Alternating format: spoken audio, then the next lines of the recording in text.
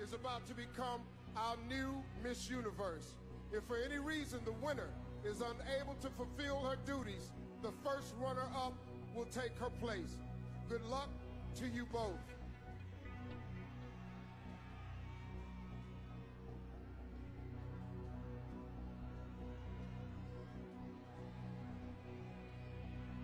The new Miss Universe is